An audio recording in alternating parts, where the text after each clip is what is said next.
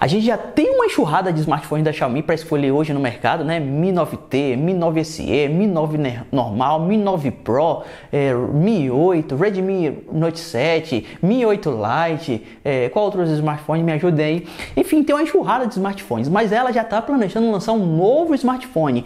Este seria o Mi 9T Pro. A gente vai conhecer um pouco mais sobre esse aparelho, né? Sobre as suas características neste vídeo. Então já larga o like e vamos nessa.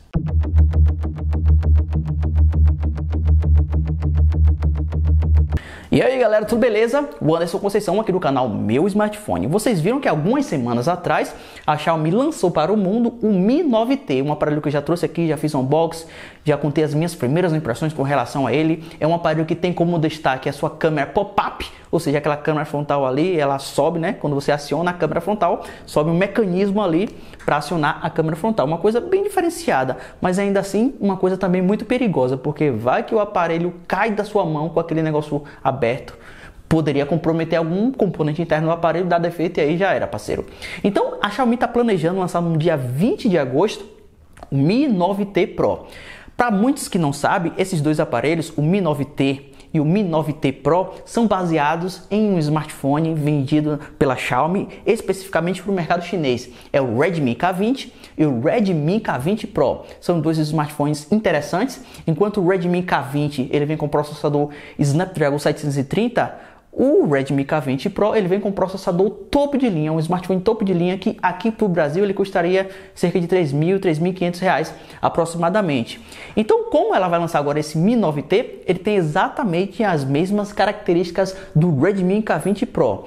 Eu até não entendi muito bem porque a Xiaomi não lançou logo de cara o, o Mi 9T e o Mi 9T Pro, né, de uma vez. Não, ela, algumas semanas atrás ela lançou o Mi 9T e só agora ela resolveu lançar o Mi 9T Pro. Eu não entendi muito qual é essa estratégia da Xiaomi, mas enfim, vamos conhecer um pouco mais sobre esse aparelho, né? Tô com uma cola aqui, né? Algumas características que são implementadas no Redmi K20 Pro, que também serão implementadas no Mi 9T Pro. Vai vir com as mesmas características. Vamos relembrar essas características?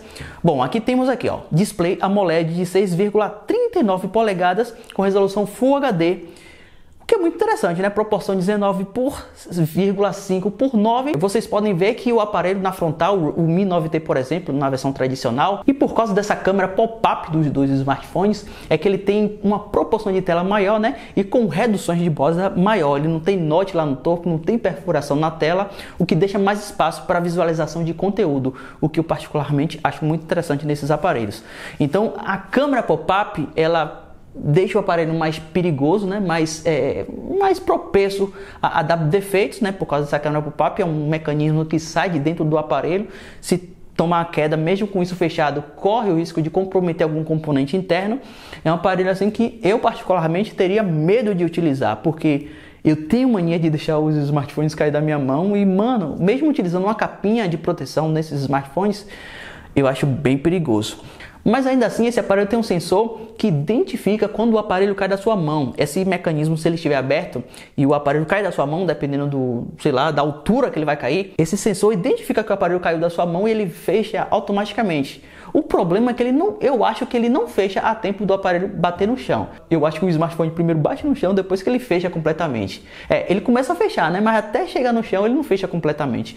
Isso aí eu acho particularmente acho um problema.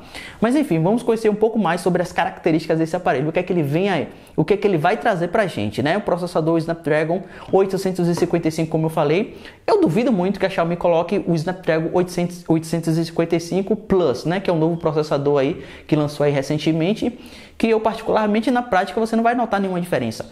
Ó pessoal, hoje eu particularmente não vejo necessidade nenhuma de comprar um smartphone topo de linha.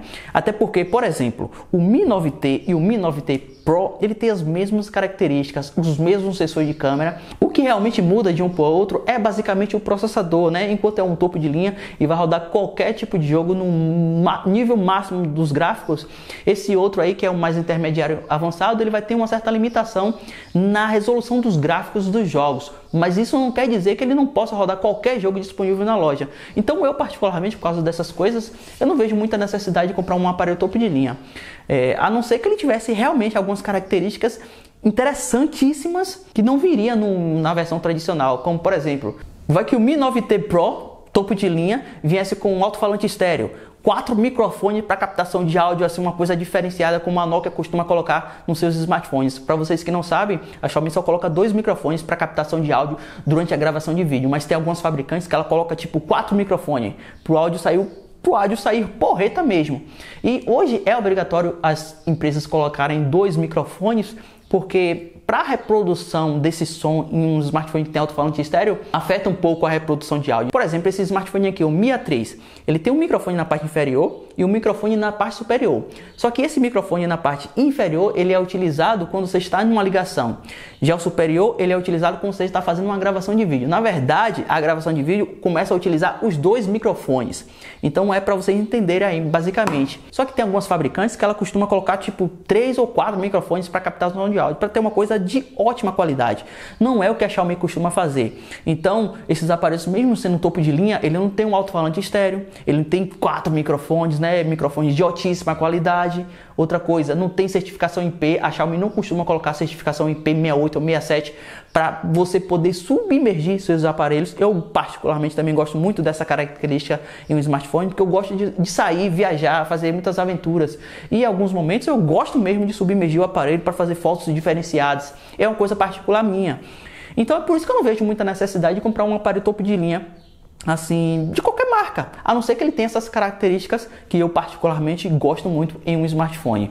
Então, ele vai ter versões também com 6 e 8 GB de memória RAM, com memórias também de 128 e 256 GB de armazenamento, o que é muito interessante. A sua câmera frontal, aqui está dizendo que é 20 megapixels para o Redmi K20 Pro, né, que seria o Mi 9T Pro, mas eu creio que a Xiaomi vai colocar um sensor de 32 megapixels. Possa ser que ela atualize um, um, pouco aí essa questão do sensor, mas ainda assim a quantidade de megapixels não quer dizer muita coisa não. Mesmo se ela colocar esse sensor de 20 megapixels que está no Redmi K20 Pro, eu não vou notar muita diferença. Vai ser difícil você também notar alguma diferença assim logo de cara, porque vocês sabem, né? A configuração padrão dos aparelhos da Xiaomi, quando você tira uma foto, fica meio que esbranquiçado. Então você é obrigado a fazer uma edição pós processamento da imagem, após a, após a captura. Agora na câmera principal, ela vai ter uma configuração de câmera tripla, assim como acontece no Mi 9T tradicional. Ou seja, o sensor principal é Sony, né? IMX586 de 48 megapixels, é um dos melhores sensores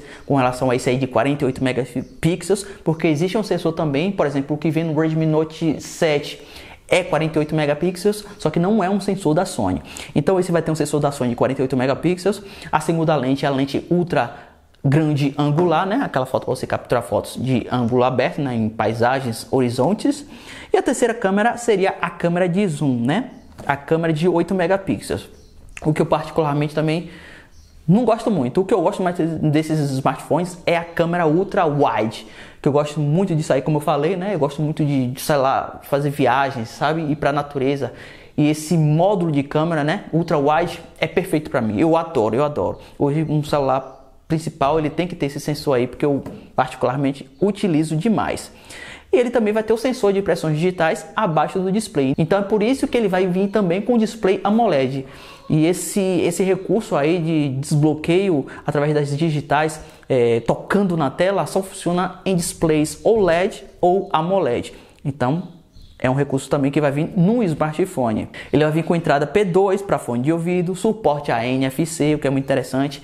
É um recurso que você não encontra no Mi A3, por exemplo, ou no Redmi Note 7. O que mais? É a bateria de 4.000 mAh, né? com suporte ao carregamento rápido de 18 watts. Eu não sei se a Xiaomi vai colocar esse adaptador de 18 watts ou como acontece em alguns aparelhos intermediários, por exemplo. Esses aparelhos intermediários, como é o caso do Mi A3, ele também tem um suporte a carregamento de 18 watts, né? o, o adaptador, só que não vem dentro da caixa. O que vem dentro da caixa é o de 10 watts. Então, ele vai vir também rodando a MIUI 10, né, com as modificações, vai vir rodando o Android Pie, né, na versão 9, com as modificações da MIUI da Xiaomi, na versão 10, 10 ponto alguma coisa. Então, são basicamente essas as características do Mi 9T Pro que vai ser lançado no dia 20. Claro que depois do lançamento eu vou trazer aqui, né? Quem sabe eu tiver a oportunidade de trazer o aparelho aqui para fazer um unboxing, trazer mais informações sobre o aparelho. Mas adiantando essas informações sobre ele, não espere que venha alguma coisa a mais do que já foi implementado no Redmi K20 Pro, por exemplo. Né? Vai, você pode pegar aí, hoje tem todas as características na internet e você vai ver que, ele, que o Mi 9T Pro vai vir com as mesmas características do Redmi K20 Pro. Como eu falei no início do vídeo, a Xiaomi só está lançando o Mi 9T Pro por causa da versão global, né? Esse é um aparelho voltado para o mercado global, né? Mercado europeu e qualquer outro mercado. Já o Redmi K20 Pro, ele não sai de alguns mercados, especialmente o da China. Então, é basicamente essas informações. Eu vou ficando por aqui. Um grande abraço e até a próxima.